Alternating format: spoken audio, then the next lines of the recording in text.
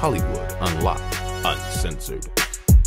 What up, everybody? This is Jason Lee. and This is Hollywood Unlocked Uncensored. And I'm Melyssa Ford, aka the Curve Queen. It's DJ Damage. Let's get the show started. All right, make sure you're listening to us on all streaming platforms iTunes, Google Play, Spotify, iHeart, and make sure you're watching our recklessness on YouTube. yes. That's right. Listen, thank you to everybody tuning in. I know that you are at work. I love, can I just say, first of all, to the fans of Hollywood Unlocked and Censored, I know Melyssa's just shouted you out on her Snapchat when she was being a little hood the other day.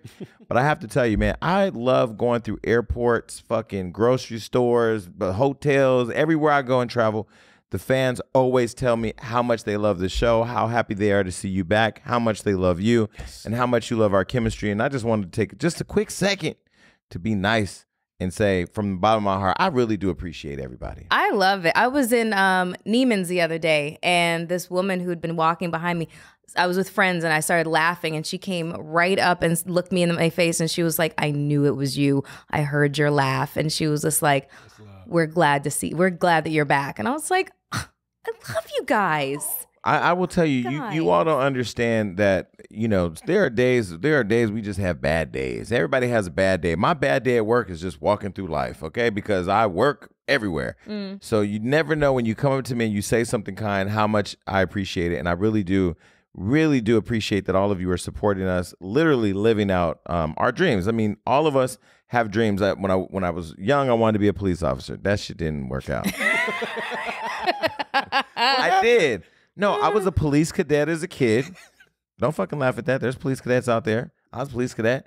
Um, I did. I did end up going to work at the group home that I graduated from, and then went to work as a probation officer. And the whole goal was to help kids because I wanted to help children mm-hmm. because I was an at-risk kid. But then I realized that eh, you know that whole legal system shit is just it's a business. Mm-hmm. Mm-hmm. It's a big business. So I it didn't work for me no more, and I saw how they were abusing kids, and so then I became a child advocate, and then I lost my job because I was fighting for them, and then ended up getting hired by the union, and then I started becoming an advocate, mm-hmm. and then so I just said like, I had the courage to follow my dreams. But I do appreciate all the fans for allowing me to do that. Yes that was a hell of a segue. Was it? It was long as fuck. Was it good though? Yeah, like you, you eventually came to the point. But I got it. Yeah, you got it. Okay, cool. Yeah, yeah, you got it. All right, We so- love you is the point. We're gonna hop into some hot topics because I know all of you want to ask us, what the fuck do you think about the fuckery in this world? So Melyssa Ford, take it away. Well, let's start with something um, that I know that you can appreciate. Um, Halle Berry turns around on the red carpet to speak to black media outlets. We love Halle Berry here on the show. Everybody on the planet, basically. Who doesn't like Halle Berry? Nobody. I swear, there's sometimes where I think to myself, what would Halle Berry do? I do, I do. do- No, you don't. I promise I do that sometimes. Do You want to know why? Because in the face of a lot of bullshit, she's been she's always maintained so much composure and poise.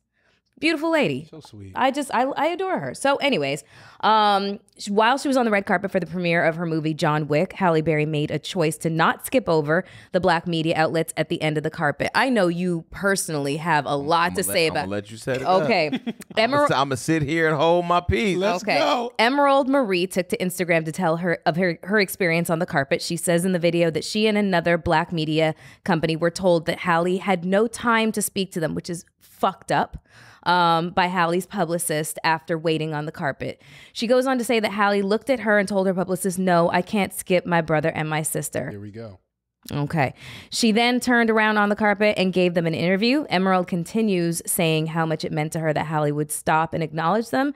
She also talks about how often black media outlets are overlooked. So Emerald was is probably a fan of yours and has heard you go on one of your many rants about the fact that black media outlets are oftentimes overlooked on red carpet. And real quick, you know, another person that has done that for me personally, because Mm-hmm. I've been on those carpets and I've been past, Floyd has done that. Floyd has Come walked back. past and came back Right. Mm-hmm. and gave me a few words when he didn't have to. So it's dope to see stuff like that. Well, let me tell you that you know back in the day when I when I first decided I was going to do Hollywood Unlocked, it was Queen Latifah who called and said, "I thought about something, bro. I just ran into Perez Hilton, and you remind me you could be Perez Hilton and TMZ with a heart." And I and that always sticks with me because she had a vision that was bigger than what I thought I could do. And mm-hmm. then you know Perez is such a uh, an icon in the blogosphere where he really started that blog shit. I mean, he was the mm-hmm. best at it. As controversial as he was, he was the best at it. And then TMZ, of course, they're the number one source for pop culture on television at the time. Where they were, I don't know where they are now, but mm-hmm. whatever. So when I thought about that, I thought, okay, cool. What I didn't understand was I didn't understand racism in media. I didn't understand racism in raising money as a black person. Mm-hmm. You know, I wake up, I think I'm fucking brilliant. I think we all think we're brilliant in our own way Mm-hmm. with what we're blessed with. We're all blessed with certain talents. There's one Melyssa Ford, Mm-hmm. and I really feel like when Kanye had burnt himself out talking about I'm a king, I'm a god, what he was really translating is I believe I'm great. And I think that most young black people don't they're not raised being told you're great At all. Mm-hmm. there was never one day my family said to me, You're great. You're going to be something. You're going to be, you can be anything you want. All I was told was, You ain't going to be shit like your daddy. That's what I was told. Mm-hmm. So to grow up in that and then have life hand me a bunch of shit that I sorted out on my own and figured out to how to keep all of my own moral compass focused on being the best me and to become something. Mm. To get there and then be reminded, you still just a nigga. Mm. Because Perez was the one that said to me, Jason, you want to blow up? Get on that red carpet and ask them fucking questions when you get them. Mm-hmm. And I thought, okay. And then I started sending my staff out as I was building my company. And my staff would say, man, we got a fucked up place on the carpet. Man, they put us way at the end. Man, we didn't even get to see nobody. Man, they just rushed them by because they were late. And then mm-hmm. I stu- stepped back from it and I started looking and paying attention. Uh, And we're in a chat room. I say, who did you interview at that? He'll send, Adam will send me a cut and I'll see we don't have no, we have B roll of A-listers on the carpet mm-hmm. talking to Entertainment Tonight, mm-hmm. E! News, not talking to us. And I said this on the Breakfast Club. There are three major platforms online that people go to Shade Room, Baller Alert, Hollywood Unlocked. There's other blogs out there, but they go to these three sources to find out what the fuck is, our people are doing, and our people drive the culture. White people are not driving the culture. Indians ain't driving the fucking culture. Asians ain't driving the culture. Niggas is driving the culture. Mm. So that is just the way it is. Now, what happens is it don't become popular culture until white people do what the black people are doing. Mm-hmm. And the problem is that now is that black people have bought into that bullshit. TV fucking one and NAACP. Them old, them old house nigga companies who employ a culture where it's all about black on the outside, but it's really this inner burning desire to be accepted by the white man. That's the problem that I have started to pull the onion peel, the onion, the layers back, mm-hmm, right? Mm-hmm. So I went on the Breakfast Club and I talked about a little bit. People really, publicists, powerful. Beyonce's publicist called me. That's how big that motherfucking shit was. If it was just me talking my fucking piece, mm-hmm. called me personally to say, I'm gonna do what I could do behind the scenes to help you. Marcy Polanco called. I love Marcy. So many, you know, Yeah, of course. powerful publicists, historic people that I really was just saying what the fuck I see every Yeah. day. Mm-hmm. But I didn't realize the impact of what we see every day on the red carpets was going to have on young journalists in college, Mm-hmm. young black women who are just behind their computers typing as a hobby, Mm-hmm. people who are looking at me saying, "You did it, I can do it," and I didn't even really think of them when I said it. So this girl you talked about, I reached out to her today from Yeah. the plane, Yeah. and uh, I'm going on the Wendy show on Monday, and I invited her to come with me. Oh, that's awesome. And I said to her, you know, she said to me, I was inspired by what you said on the Breakfast Club to address it. Mm-hmm. And the way she put it together was articulated so perfectly. And Halle Berry, I have to say, you probably may never hear this. If you do, great. If you don't, whatever. If somebody sees this, you know Halle, please send it to her. The fact that you stopped Yeah. and came back and that and that God allowed to line everything up to capture it, you don't realize that racism shows up in different ways. Mm-hmm. When you were back in the 60s, our parents, our grandparents mm-hmm. couldn't go into a restaurant through a certain door. You couldn't sit at certain tables. You couldn't drink at certain fountains. You were treated less than dogs. Dogs could sit at the head of the table, but you had to sit in another room. Mm-hmm. The carpet now is the new table. So that's why I've said to people, I don't need your fucking table. I, I just signed with ICM, biggest one of the biggest agency in the world. And you know what I said to them? You're not going to handle my business for me. I built my own table when I couldn't find a seat at one, and now you can sit at my table. This is what I don't understand is how more of us in powerful positions have not yet checked motherfuckers. Mm-hmm. That's why I'm gonna check the NAACP. That's why I'm gonna check. When Nipsey died, NAACP didn't post shit on their fucking Instagram. Y'all niggas, to me, are culture vultures now. So when I look at the red carpet, white media is at the front. So you'll see E, entertainment news, mm. all that shit. The shit that all of us niggas now who are tap dancing for these motherfuckers. Mm. Can't wait to get to the carpet and stop and spend 30 minutes talking to these sons of bitches who nobody cares about. Then the motherfuckers at the end that you run by or mm. that your little white publicist just runs you by with all our little black microphones sitting out there, with all the black people behind it, waiting to hear what the fuck you got to say, you don't even have no time for them. That Yeah. shit would. Dri- if I was on the carpet, I would say, "Bitch, you see me standing here? You would. bitch, I don't give a fuck who you are. You ain't nothing but a hair, makeup, and a good rented dress, bitch. Get your ass back the fuck here, bitch. If you don't come, I'm. got the. I'm gonna go out. Bitch, I'm you don't gonna- got the keys, bitch. You don't But- get the keys. I'm gonna go out on a limb and say that this wasn't Halle's publicist. That this was probably the publicist for the event, or For the- maybe even or for the film. or yeah, a studio Yeah. publicist or whatever the That's case is. is. Just the fact that, and just the assumption that she thought that she knew what Halle Berry would want to do. She Halle Berry, in a very classy, composed way, checked her, But this which is, I love. But this is what they do, and you've been there. And I'm gonna tell you something. And I said this to Damage when I Damage ain't never said that. He don't never put me on blast because I have my own insecurities in what I do. Mm. When I first started Hollywood Unlocked, I could not do this without drinking. I could not fucking Mm. no. I could do the show without drinking because she was here. If she's not here, but we did used to drink. but I mean, I Then we, we can do. stop. But I'm saying the chemistry's natural Yeah. because we have history, Yeah. right? I could not do a photo shoot without being drunk. I could not do a one-on-one interview with my team. It's only me, a camera, and two of my people. Mm. I could not do it without being drunk. And because I had a lot of insecurities, I didn't feel like I was good enough. When young black men and women are on that carpet, they got dressed to come down there to do what they're passionate about, to talk to the people that make them feel something inspired or motivated or driven or that they look up to. They're fucking sitting there to give yo bitch ass some fucking shine. They, they, they're putting you out there to the people that actually want to hear about it. They don't fucking want to be your best friend necessarily. They want to help you shine, and you just allow your publicist. See, because what they do is, I watched what that little bitch did.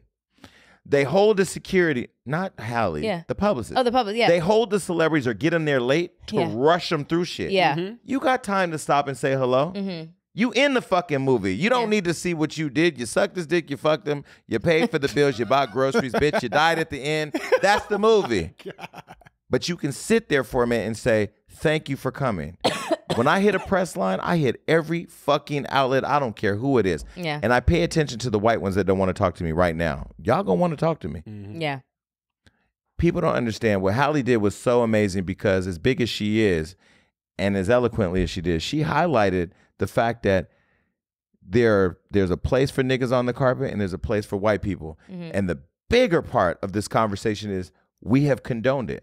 Black people will hit that carpet and walk right past you, not even look you in the They fucking won't even look face. Wait, at you ain't you. never lied. I, They won't me even- and you, me, me and you have two totally different personalities. You're a, a tad bit more aggressive than I am. Just a Yeah, little just, bit. just a little bit. Um, I always hated doing red carpet interviews, like being on the on the press side of the line, because of the fact that with the bigger outlets, they I would see stars, black stars that would pass me by. Oh, yeah. You know, based on who I was representing and then go for ET or extra or whatever the case was. And I was like, I'm just not aggressive and I actually don't care enough about you, honestly, to try and get this interview. So I probably should not be on the press line because I'm not going to beg your motherfucking ass for a fucking interview because you shouldn't be passing me by. We're we're basically if you think that we're not the same, then there's a problem and I want to know nothing about you. That it's kind of like the whole don't ever meet your idols kind of thing because they will probably disappoint you.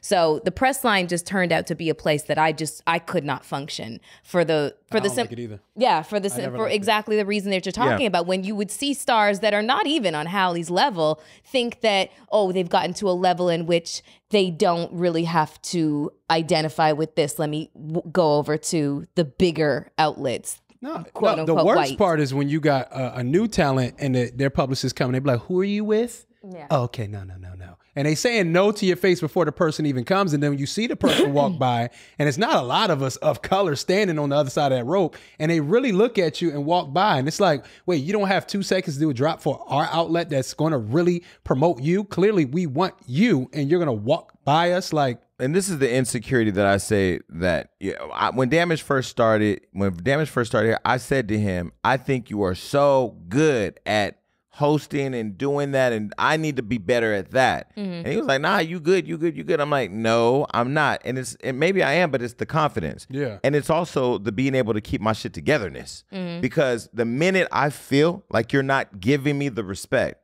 because I'm not subservient to you. This is now I have now realized what I bring to the table. I now realize the influence I have because I- I've done stories that I've seen just go all over the world. And I've mm-hmm. seen Vogue and Vanity Fair and all those people that they're looking for publish it. And this is why it's so important for me whenever somebody says, You're a blogger. Mm-hmm. I ain't no blogger. I own an entertainment media company. Mm-hmm. You can say, you- now I'm a CEO. Wendy, they asked me what my title was CEO, not editor in chief, not host, CEO of Hollywood Unlocked, boss man, whatever you want to call me, because it's so easy to say urban blogs. I write about world news. I write about elections. I write about uh, people killing people. I write about rapes. I write about child molesters. I write about entertainment. I write about pop culture. But more importantly, to the black celebrity listening, these these outlets that you think are there to get you because you've somehow made it. Nah, nigga, they're not there every single day of your career. Mm-hmm. Hollywood Unlocked writes about Omari Hardwick way more than the Hollywood Reporter does. Mm-hmm. Mm. But he ain't never did an interview with us. Mm. You know what I'm gonna start doing? This is what I said on my Instagram today. I said, listen, I said, you're not safe anymore. You're not safe. Adam's gonna go back and pull footage. He told me on the plane, I got footage of these people walking by us. I said, I want a Oh, fucking fuck. real. I said, y'all done fucked I said, I want a fucking real because what I'm gonna start doing is I'm gonna start putting y'all bitch asses on blast. Because here's the deal I don't own none of these people. We own none of them nothing. If you don't respect Hollywood Unlocked, if you don't come by Hollywood Unlocked, if you don't stop by, if you don't follow us, comment, be in our pet comments. Samuel Jackson follows Hollywood Unlocked. I just saw Anthony Anderson follows Hollywood Unlocked. Mm-hmm. But you guys have made it okay. You guys have built a comfort zone for these people to treat us like this, and and it stops here with us. So them, I, then I told Adam the next major carpet, I'm going. I'm not going to interview. I'm going to watch. And I'm telling you, if anybody walks by my people or shits on my people, I don't give a fuck who you are. I don't Oh, give a oh, fuck Lord have who mercy. invited us. I'm going posto. Can you do On me Instagram. A, can you do me a favor? on Instagram. No, I no. I, Listen. you know, I'll pull up. I will pull up in somebody's Can face. you do me a favor? Yeah. Just wear like a GoPro or something, like a body cam. Just let, let me. No. I have to fucking see this shit. I've, I've, de- I've decided what I'm gonna do. I'm going to have a mic here and a mic of my own and my own camera person. Just get a lavalier microphone. That's basically like the headpiece with the. No, you know? I'm getting a mic here so you always hear me, and I'm gonna have my own handheld and my own camera guy. And when they walk by, I'm gonna jump right in front of their ass. Hey! Did you not hear him say, "Get over here for it"? Get your ass back. up. I'm going to start shaming them because I'm about to start unlocking this bullshit. That's never happened. Before. Here's the deal: I don't work for nobody but Jesus. Okay. I don't work for nobody but Jesus. Okay. Like I said, Jason has a lot to say on this particular subject, but um, we've got to get to other topics. No, because because people have to understand. There are people I never really knew the impact that this story and this experience had on young people. No, for it's real. not. It's not the. It's serious. You know how the powerful publicists that call me afraid to publicly comment on the post, but we're so elated. Like I cannot believe you had the courage. What do you mean you can't believe? I own this shit, mm. and I'm gonna keep doing it. So I'm just telling you, TV One, BET, all of us that own our shit. Now, now I'm being asked to vote on. I've been I've been asked to vote on BET award nominations. I'm I'm in there now mm. because see now I'm not playing no more. Now I'm going to just continue to just demonstrate that if you just have a little bit of courage and stick up for yourself, and you have a little bit of courage to stick up for what you believe is right, like black people being treated equally when it comes to reporting on our own people, the world would be a better place. Amen. Amen. All right. Well, I sent a story that I noticed on Twitter to um, our producer, and uh, this one really pissed me off. You know, I really find it an- annoying. Let me just read the headline and then I'll get into it. Um, a DC author shamed a metro worker for eating on a train. Now her book deal is in jeopardy. No, it's not in jeopardy. They dropped her motherfucking ass. Okay. So we break this down. Okay, so author Natasha Tynes, who has either taken off her Twitter, like you know, uh, disabled her Twitter account, is disabled. Good. Um, She ignited a firestorm on social media where she criticized a black Metro employee for eating on the train and reported the woman to transit officials. She literally, What? no, she took a picture and took a video of this woman eating on the train, not knowing her circumstances as to why she couldn't f- finish her meal or start her meal wherever. She just decided to invade this woman's privacy, take video of it, send the video to DC Transportate Metro Transportation to basically complain about the what the woman was doing. Um, so the tweet read, uh, Tynes tagged WMATA account reporting that when she confronted the woman for breaking the metro rules, and woman replied, "Worry about yourself." Well, you should have. Um, when you're on your morning commute and see at WMATA employee in uniform eating on the train, Tynes tweeted. I thought we were not allowed to eat on the train. This is unacceptable. Hope at WMATA responds. Whole snitch. The back the backlash was swift. Twitter justice, okay? Um, some people decried Tynes' tweet as racist, calling out the self described minority writer for shaming a black woman and potentially get, getting her in trouble. In response to the tweet, transit officials asked her Wait, so is a white woman. no, hold on. I'm getting to that. Okay. I'm getting to that.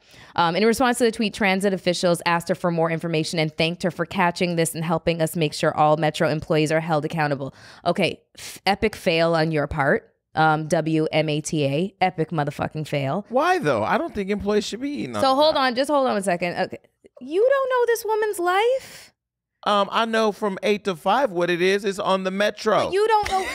You don't know. God. You don't know if she was. She might have been on. Okay, she might have been in uniform, and she might have been going to her post, taking the train to her post. She might not and been working. No, she does not know her life. So why are you intruding on it? Okay. You know what I'm saying? I will say that I have a problem when I come to uh, give praise to a certain establishment. That's my coinage. Mm-hmm. And the employees are fucking off on the job. Now, I'm not saying this is this woman's situation because I don't know if we do any of us know what was happening with So the girl. th- that's the thing is no one knows the circumstances if the woman was on the train going to her post or she wasn't sitting in a conductor's booth eating. well, I whatever. think it's different. If she's just sitting on the train and we don't know what's happening, that's one thing. If I come to your job and you're sitting off, like I, the other day, I was somewhere in Mm-hmm. Atlanta and a few people were sitting having a side conversation when I came to have dinner, Mm-hmm. and I just stood there for a minute and they kept talking. I said, "Excuse me, can I? Can somebody seat me?" right. Now, somebody would have thought like I was being rude. No, that's annoying. Like I understand what you're talking about Okay. there. You know, if like you know you walk into an establishment, you're waiting to be seated, and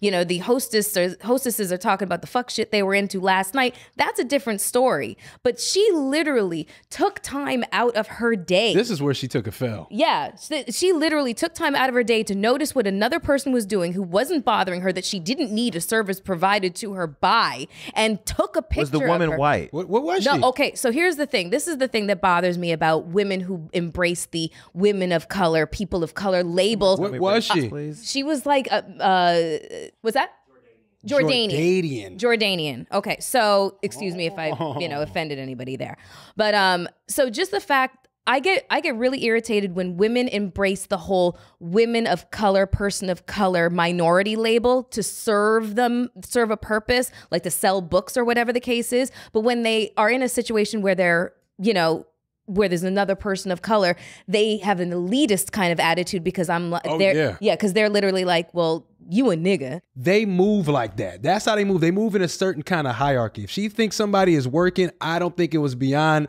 somebody like her to sit there and take her phone out and try to tell on her because that's kind of like how they move, Okay. unfortunately. Well, in response to the incident, Rare Bird Books, a publishing house that was set to distribute Tynes' upcoming novel called They Call Me Wyatt, has decided not to do so. We don't have what they really wrote, but it, was epic. All you got to do is just search Rare Bird tweet and you're going to see it cuz it just was it was it was awesome. That's what you get for being a snitch. I mean, for no pos- for no reason. Like why would you people snitch for no reason.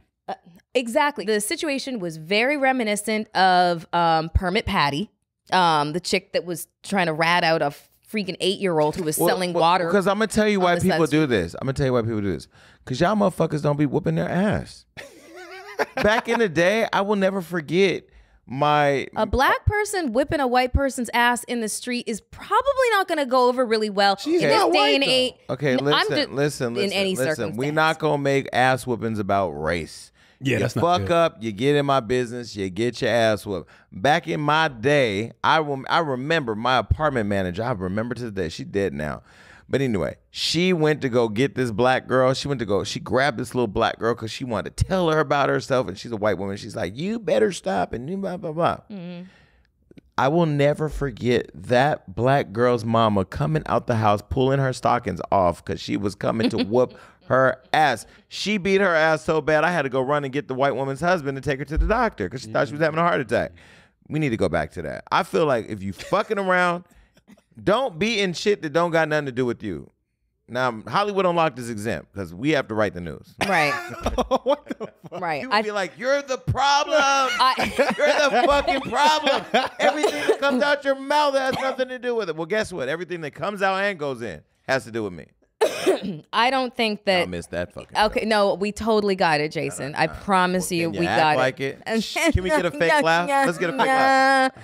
Okay. Well, No, anyways, no, we need a fake laugh. I did one. Do a better one. Okay, I listen. Ah, ah, okay. Motherfucker, Like you don't snap laugh. your fingers and I just start dancing. well, that's why you're single. I did. Okay. Anyways, All right, y'all, it's time for another Hollywood hookup. Let's just be real right now. No one has time to go to the post office. There's traffic going to the post office, there's traffic in the post office. And I don't know about you, but I get anxiety at the post office. And if you're like me, I do too. I get I get a lot of anxiety and I always ask stupid questions and they're always looking at me like, why are you here? So I have a solution for you. If you're like me, it's called stamps.com. Okay. So it's one of the most time-saving tools for small businesses. Stamps.com eliminates trips to the post office and saves you money and discounts that you can't even get at the post office. I love discounts. So this is how it works. Stamps.coms bring all the amazing services of the US Post Office right to your computer. Whether you're a small office sending invoices, you know, I send a couple invoices, I'm a DJ, uh, online seller shipping out products, doesn't matter. Even if you're a warehouse sending out thousands of packages a day, Stamps.com can handle it all with ease. That's awesome. So check it out. With stamps.com, you get 5 cents off your first class stamp up to 40% off priority mail. Yeah, I said it weird because I can't usually afford priority mail, but now I'm telling you, now I can with stamps.com. That's awesome. Not to mention, it's a fraction of the cost of those expensive uh, postage meters. You know, when they like you're trying to send a, and they do the thing. Mm-hmm. Yep, the I thing. Yeah. It's the I thing barely for know either. That's why I'm using stamps.com. Long story short, stamps.com is a no brainer, saving you time and money. Money's very important. And no wonder why over 700,000 small businesses already use stamps.com. I do. So check this out. Right now, our listeners get a special offer that includes a four-week trial plus free packages in a digital scale. That's right, a digital scale without any long-term commitment. That's amazing. Just go to stamps.com, click on the microphone at the top of the homepage, and type in unlocked. Okay? Unlock people. That's stamps.com, type in unlocked. Your boy Safari was uh, protesting the fur ban in New York City. Doing a counter protest? Oh, yeah, yeah, he was. So Safari Samuels took to the fur ban protest, marching and screaming for his right to wear luxurious furs. Safari, rocking a flowing fur coat, of course, was shouting at the top of his lungs in front of New York City, uh, New York City Hall to protest a proposed ban on fur sales. Things got very heated with Safari's pro fur supporters clashing verbally with a slew of anti fur protesters. He marched and shouted, Leave us alone! Stop picking on us! Our fur, our right, our choice, our right. Well, I don't understand. I don't understand why. I, I first of all, I don't understand PETA, and I don't understand people that don't like people that wear furs. Because why are y'all not standing in front of Chipotle? Mm. Because there's animal meat in there. Like, why wouldn't you fucking be mad? Why you not at the McDonald's posted up? you don't. Humans don't need meat to survive. So So why not stand in front of Chipotle or McDonald's? I'm not Taco Bell. I'm not standing in front of any of the motherfuckers. It's all gross to me. I'm saying. I will say this that when it comes to fur, um, and when it comes to the consumption of meat, usually meat that is meant for consumption is, you know, killed in a humane manner. I know somebody's gonna oh. come get on me oh, about oh, that. Oh my god. Let's not do it. Let's let's stop doing drive-bys and let's just fucking put in like let's just put, Let's just poison people. let's just poison them. they die in their sleep, and that's a nicer way of killing them. The two things can be seen as hypocritical. It's super Uh, yeah, hypocritical. a, a non But- a non fur wearing person who eats meat. You're yeah, you absolutely have a leg to stand on. I don't even want to dip my toe into this motherfucking. You don't wanna- I don't want to do it. I don't. I don't know do why it. Safari did it. I mean, I get it, bro. I mean, PETA, those people are annoying. They pop up on you, they surprise you, they throw paint on you. They do it to the right people. You throw paint on the wrong motherfucker, you're gonna get caught with it They, right. they tried it with Gucci, man. It didn't go so well. But Safari trying to do a, a, a counter protest. It's like, bruh, just wear your fur and go to fuck in. Like, what's the point of going out there and standing out there in your Timberland boots Because- with your fur on, because I trying to fight the power? Like, I what's talked the, to I talked to Safari. He told me he was gonna do this. But look, I love the Safari knows how to keep his name in oh, it's people's a clout mouths. chase? No, it's not a clout chase. It's just he, he knows he's gonna go do it. He knows he's gonna go Ah. viral. I wouldn't say it's a clout chase. There's a lot of motherfuckers out here that are irrelevant that need to figure out a clout chase. But anyway, I feel like if you're going to protect animals, Mm-hmm. Why don't you protect them all the way around? Chipotle should be shut down. Chick Fil A. thing with Chick Fil A. These fucking PETA niggas go to Chick Fil A like it ain't Go to the fucking farm. Chick Fil A hates gay people. On top of that, Okay, I would probably. I don't understand. I I'm gonna go out on a limb and say that PETA would not accept you know uh, volunteers or who you know people to into the establishment if they weren't vegan. So are all PETA people vegan? I mean, No. Eh, they might be sneaking on the They're side. animal you know? lovers that have like their dogs and their little cats, and they don't like when people wear them. And then they got to be virgins too. yeah. What? They can't be getting all that meat. Okay. All right. You guys want to talk about abortion? Because everybody else is. Fine with me. Let's Okay. Yeah, let's go with it. Lord, here we go. Um, Alabama's state senate made the shocking move to approve a near total ban on abortions in the state. The controversial law outlaw, outlaws all abortions except in cases where a woman's health is at serious risk. It also stated that there are no exceptions, even for cases of rape and incest. Crazy. The Alabama law will make abortion a felony at any stage of a woman's pregnancy. It will also criminalize the procedure for doctors who could face up to 99 years in prison if convicted. Although Alabama is the latest conservative state to pass a law aimed at limiting abortions, this is the most restrictive in the United States. Following the big move, House Speaker Nancy Pelosi tweeted, Women's rights are under attack. This relentless and cruel Republican assault on women's health is designed to force a court battle to destroy Roe versus Wade. Democrats will all will be ready to defend healthcare and women's reproductive freedom. Georgia Governor Brian Kemp signed a bill that would ban abortions if a fetal heartbeat can be detected. Which is like about five weeks, right? Six. Six. Um, this usually happens between five to six weeks of a woman's pregnancy before many women even know that they're pregnant. As of right now in Georgia, women are allowed to undergo abortion procedures up to their 20th week of pregnancy. However, starting January 1st, the bill signed by Kemp would ban abortions after a fetal heartbeat is detected. Kemp said while signing the bill, Georgia is a state that values life. We protect the innocent, we champion the vulnerable, we stand up and speak for those that are unable to speak for themselves. Well, we posted something today as a Throwback Thursday uh, post, just in case people forget about the Republican Party. So, uh, Republican uh, uh, Senator Clayton Williams said on rape, he was they were these were all people that were talking rape. Rape is kind of like the weather. It, it if it's inevitable, relax and enjoy it. He's from Texas. Another one, Todd Akin uh, from uh, it looks like what is Mo? Is that Missouri? I don't know wherever Mo. Yeah, is. it's Missouri. Is that Missouri? Yeah. He says if it's a legitimate rape, the female body has ways to shut that thing down. what? Okay, Rick Santorum of of Pennsylvania says rape victims should make the best out of a bad situation. Richard Mourdock from uh, Indiana says even when life begins in that horrible situation of rape, that is something that God intended to happen. And then a woman, uh, Jodie uh, Laudenberg, wait, Laubenberg from Texas says in the emergency room they have what's called rape kits where a woman can get cleaned out. Get clean. And then Lawrence Lockman of uh, Maine, maybe, says if a woman has the right to an abortion, why shouldn't a man be free to use his superior strength to force himself on a woman? At least the rapist's pursuit of sexual freedom doesn't, in most cases, result in anyone's death. Did a, wo- Sick. a woman said that? no, the woman said that. The woman Oh. said the and one so, before and that. so, for those of you who are not kit. thinking about 2020 right now, please just refer back to this clip and go out and register to vote. Please. And do whatever you can to make sure that the motherfuckers that are actually legislating your body, women, don't have the power to do so. Stand up. You know what's crazy is women's uh, bodies are the only women are the only people in our country who laws there are laws or even a debate over laws on our how to own- What they govern the do. body. Yeah.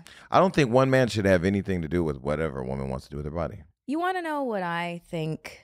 I think a lot on this subject, and I'm very, I'm really, really, really, really disturbed and really, really angry. *Handmaid's Tale* was one of my favorite shows first season. Mm. I didn't even bother watching second season. Why? Because it was starting to imitate life a little bit too motherfucking much. And there's all these protests that are happening where women are dressing like you know the the red cloaks and the white hats from *Handmaid's Tale* because it's reminiscent of of of the storyline of the show and what frightens me I, I don't even know where to start the whole rape and incest thing okay like let's just take this you know where it says the controversial law outlaws all abortions except in cases where a woman's health is at serious risk.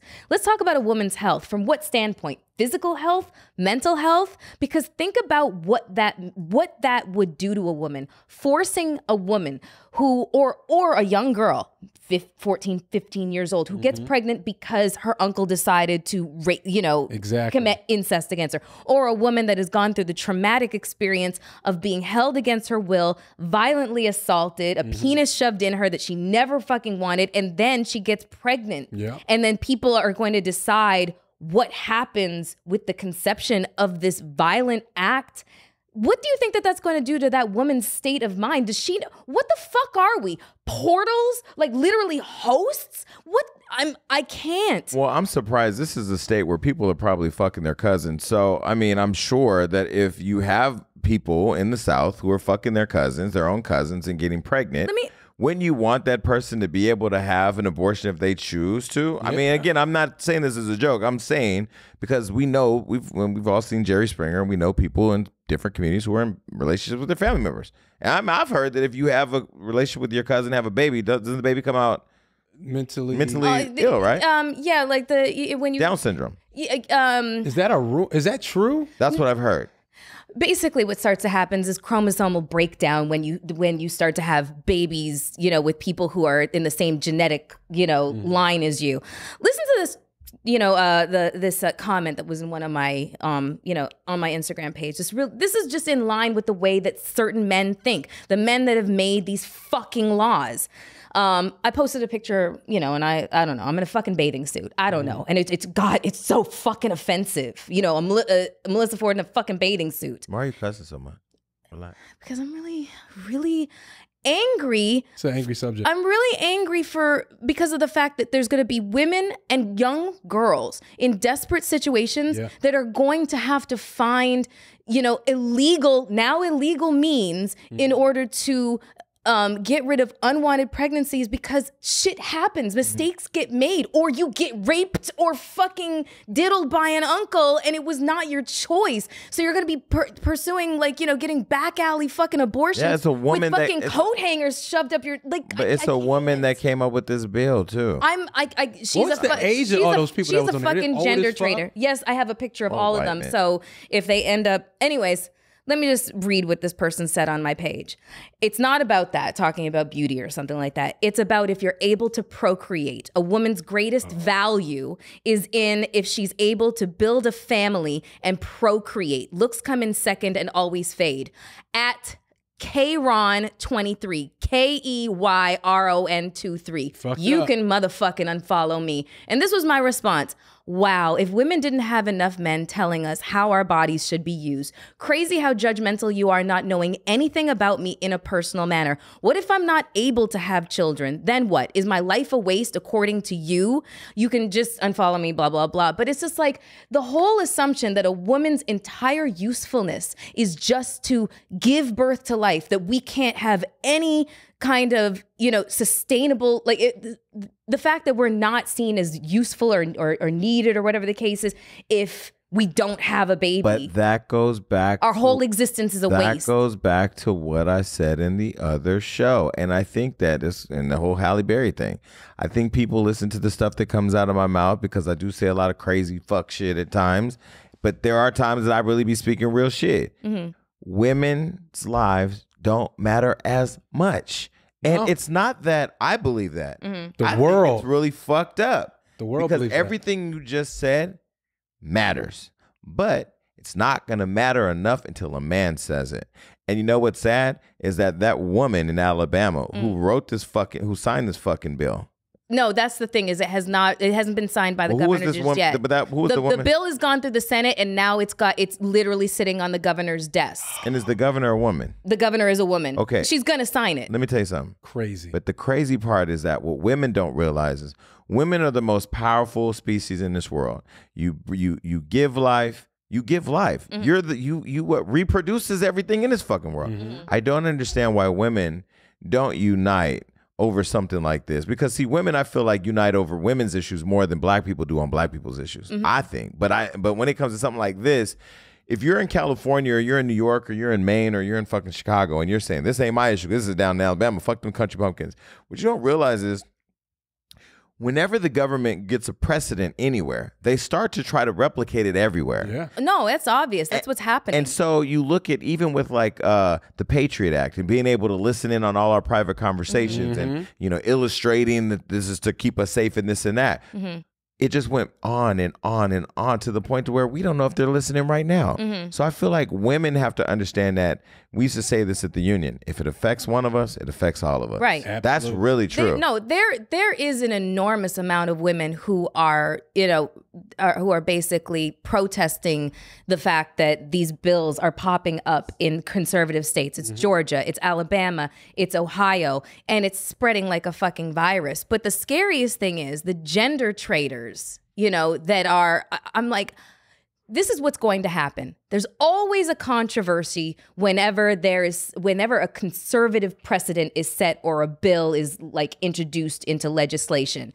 And what's going to happen is there's going to be some ultra super conservative senator whose side piece is going to get pregnant. Yeah. And the scandal is going to be that he finds a way to get her a secret abortion. Talk I about mark it. my words, it's gonna happen. And I am going to be sitting there with my motherfucking popcorn because it's just so hypocritical. Because let you guys be the ones who have to carry children. Oh, this would it It won't even be. Abortion I, would be- I, be a thing. I had a phone call. abortion would be mandatory. I had a I had a phone call with Lira Galore the other day, who mm-hmm. just gave birth to a very beautiful baby, mm-hmm. and she was telling me that she had to have an emergency C section, mm-hmm. And when she said she said her her her man videotaped it, and then she watched it back later. Where they cut her from side to side and basically pulled out her organs to lay on top of her body. yeah. What women have to go through when they choose to have childbirth Mm-hmm. is something that I know I don't even have an ounce of courage to try to experience. Mm-hmm. Let alone a woman get pregnant. And let's be very clear a woman has the right to fuck whoever she wants, however she wants, Mm-hmm. whenever she wants, wherever she wants.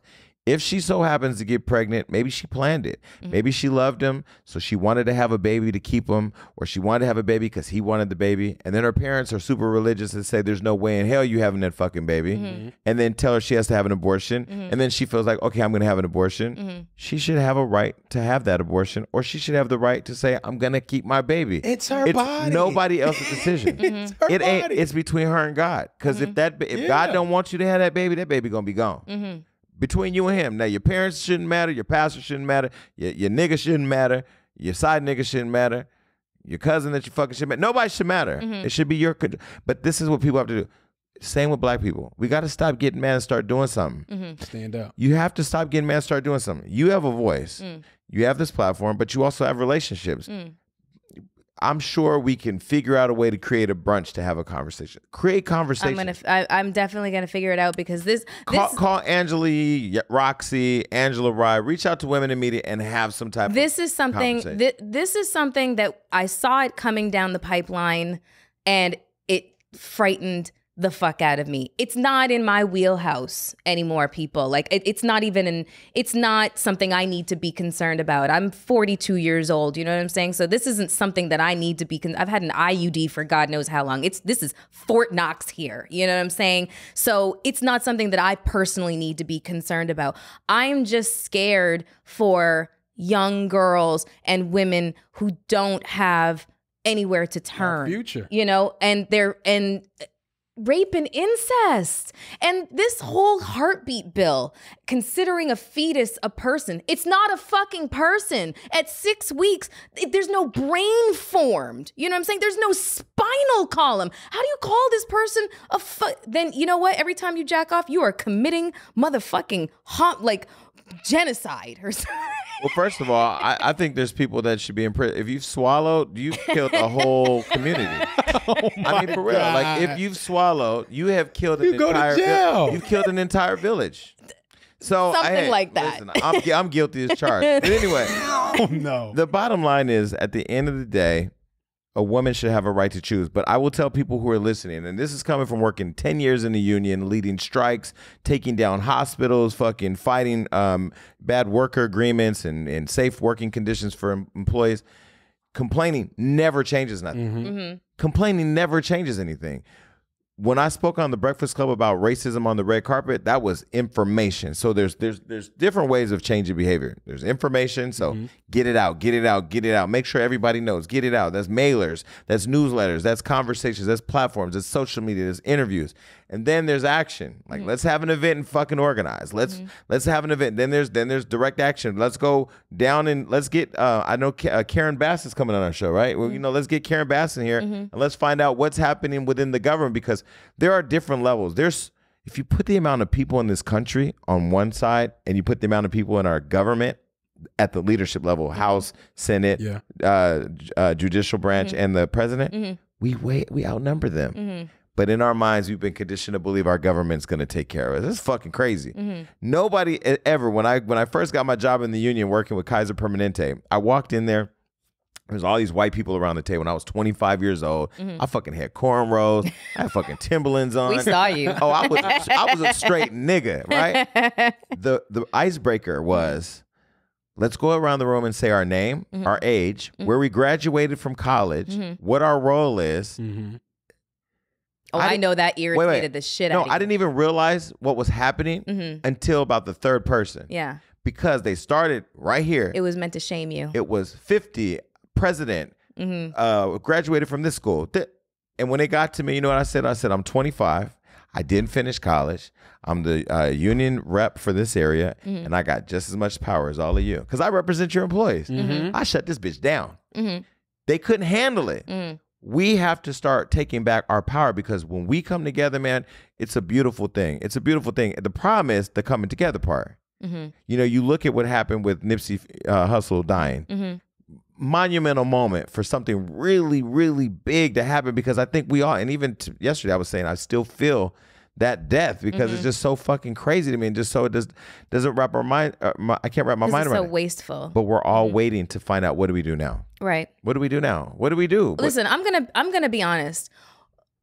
This this particular um fight scares me. It, with, with the women. yeah, Yeah. it. I want to fight for women's rights, especially in this regard. You know what I'm saying? Because this is an attack on the disenfranchised and maligned communities, women, you know, living just above the poverty level and underneath it. This is this is classism at its fucking worst. You know what I'm saying? This is this is frightening. And the thing that scares me about this is the right wing conservative Christian faction mm-hmm. because they are fucking evil. They are mean and Yeah, but and no no they're mean and they're vicious and they do not they they won't they won't uh, uh Compromise. not even compromise they will not hesitate to threaten you with violence and death Oh. you know what I'm saying? I don't I don't want that. I don't want that kind of negative negativity in my fucking realm. I ca- I can't handle it. You know, so it's just like so it literally is a inner conflict within me to think I want to fight for the rights of women. I want to fight for the rights of women who want to make, you know, decisions about their own body. But I'm terrified of some fucking lunatic trying to take me out because I'm defending the mm-hmm. defenseless and the voiceless. There were slaves who were afraid to try to be freed. There, there, there's the, there's there's a Harriet Tubman. There are gay people who are afraid of uh, you know equal rights. If you think about it, the disenfranchised isn't just women. It's women. It's anything that's in a protected class Mm-hmm. women, gay, people of color. But see, the problem again, I'm just going to say this because people listening, they, you're on your lunch break or you're at your job, you're just trying to get through the day. You thought we was going to say a bunch of fuck shit all day. It got real. And you're going to hang up, uh, you're going to turn this off, and then you're going to go right about your life. Because none of us have a sense of community anymore. And none of us, when I say community, black, women, gay, we don't have a sense of that no more because we just trying to get through the day. We talk, I mm-hmm. talked about how I'm so consumed with my goals that Yeah. you know, I used to be a living, breathing, fighting union person. I mean, I remember coming to Southern California and they said you have three months to take these three hospitals on strike. Mm-hmm. Day and night, all I was doing was organizing workers and mm-hmm. mentally agitating them to go and take their hospitals down. Right. So now that I'm not getting paid to do that anymore, I don't give as- as much as myself of myself to service. Which mm-hmm. I will say, part of my goal is finding two things that I can be personally involved with Yeah. and use my platform. One has to be kids, and the other I have to figure out because I do feel like God doesn't give you all of this. God doesn't give you all of this to not use it. Mm-hmm. And I will say, complaining does nothing. Yeah. If you're informing people, it's one. But it's how do you, as a woman, find a women's rights group that would love to use somebody like you that has a platform to tap into uh, putting their message out there. But then also, is there a gay uh, organization that has women in it, lesbians who are fighting for women's rights? Is there a black organization or a Latina organization? You find a way of building a coalition. If you just get one person that represents every agency or every organization around the table, those 10 people could be talking about to 10,000 and Yeah. those 10,000 have a I family agree. of 10 of 100,000. I, I agree. You gotta make you gotta make it, it, you know the coalition that you create. It's gotta be looking very much It like has the to. United Nations. It has know? to. It's gotta be people has friendly. to be because everybody. because Mm-hmm. it's old white privileged people who are not the mass they're not the majority making these decisions Mhm. But they're acting like the masses. Yeah. what if they said niggas can't vote no more Masses. niggas can't even ride in a bus no more It's coming to that no, no, point. because we have we don't have a sense of community. Mm-hmm. We don't have a sense of organizing. We don't have a sense of making this shit real. Somebody was talking about the ozone layer opening up and meteors popping out, and we ain't thinking about what we gonna do to save the the, fucking climate The control. Earth. I mean, that's a that's a whole that would definitely be a cause that but I I'm sa- would. But there's environmental motherfucking terrorists that would come for my ass again. Listen, it's not about listen. Standing up for what you believe is not about fe- the fear of consequence because the fear of con- the, the fear of consequence for not standing up is greater than that. I agree. a motherfucker running up on you. I remember S- Sunset Medical Center, Kaiser. I come down here the first day. My boss says, "Don't say nothing to these people because they are not happy that you're here." I said, "Well, okay, I won't say nothing. I'm in the meeting. I'm not gonna say nothing." All the black people want to. They're all in there. All the black people that I'm gonna be leading, mentoring. Mm-hmm. My first day on the job, start to pass a rule that says no Mexicans or Filipinos can speak anything but English in the hospital, and they're all voting. And I'm si- while we're eating our fried chicken, by the way. And I'm sitting there saying, hold on a minute. So I look at my boss. I said, I'm sorry. Excuse me. Excuse me. Excuse me. All I want to say is, I'm here to lead you. I'm here to guide you. I'm here to work with you. I'm here to work with you. Uh, We, we, honestly, we one team. But if y'all pass a bill to, or a rule today that Mexicans can't speak English, can only speak English, and Filipinos. By the way, the hospital is forty percent Latino and and forty percent uh, uh, Tagalog speaking Filipinos. You're gonna tell eighty percent of your constituents that they can no longer speak anything but English. I'm gonna tell you what I'm gonna do. When you roll that out, I'm gonna be rolling out how to remove you. So go ahead, because here's the deal: the power's with the people. Right. So you can go pass whatever rules you want. Say it. They did it. They went to management. They sat around the table, and I said to the management, "Hey, y'all roll this shit out. I'm not supporting it. I'm going to be showing people how to remove." And you know what I did? I went through that hospital every shift, every day of every of, of the week, and I posted notices on how to recall your steward, and they mm-hmm. fucking started removing people left and right, and they built a whole new union. Mm-hmm. So my point is, when you get fed up, it has to turn from anger to action because the anger part, if you sit in that, the consequence will show up at your door and then you'll feel defeated and then you'll be persecuted with the idea with the idealism that you actually were a contributor because you did nothing. Right. You know, if I come to you and say, uh, you know, uh, hey nigger, you can't sit there, and then you the woman that pushed the man off the bus, everybody that sat on that bus and watched that, you just as guilty as her to me. hmm Complacent. Because you didn't involve yourself. Yeah. You Didn't do anything. But the con because they were probably afraid she would do something to him. But as a result, this man is dead. Yeah. That's all I'm saying. Well, I said it. I I agree with what you're saying, and, and just to be clear, I am. It's not that I'm pro-abortion. I'm pro-choice. I'm pro. What the fuck do you want to do with the body that you were given? It it. We walk around. We are autonomous.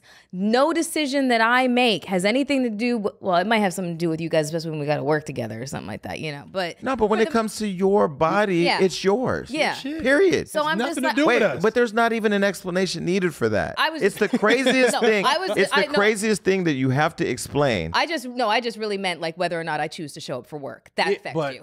what happens?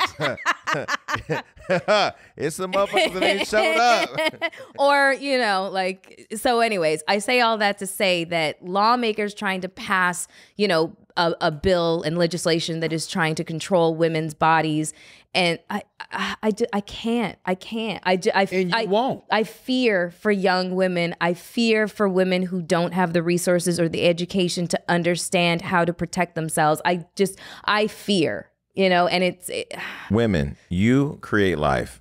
Period. Mm. You create life. yeah Like you create. It's not a. You know, men. We can build the buildings. Women build buildings too. But but but women give life to those who build the buildings. So Mm-hmm. I just again, I, I would say if you're a woman, if you're a man, if you're anybody, Everybody. you should support women's right to have con- total control over their body. Because the minute y'all come talking about I got to cut my balls off or, or tie some shit up, you know, we have a problem. And then the world will pay attention. That's crazy. right yeah Okay. Well, listen, we've run out of time. This has been a very uh, empowering uh, episode. I loved it. yeah I learned a lot. Yeah. I'm All right. probably going to revisit this conversation like next week when I put my thoughts together, but right now I'm just I'm I'm really it's so fresh and so new and I'm still so like you know raw exposed nerve about it because I'm I, I'm just so angry and so fearful and I just don't understand this is 2019 not not 1960 right I did I enter into a time warp and didn't you fucking didn't. know it So we're gonna leave you with some wisdom. Number one, it's uh, a woman has a right to choose and total control over her body. And number two, swallowing semen is murder. Bye. oh my god bye everybody god damn it